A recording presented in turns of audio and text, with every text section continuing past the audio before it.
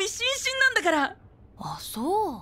会った時からずっと我慢してたんだ。やっと二人っきりになれた。ちょちょっと。私いろいろ覚えてないしなんかよくわかんないけどそういうのはなんていうか順序があるような。ほら。え？いや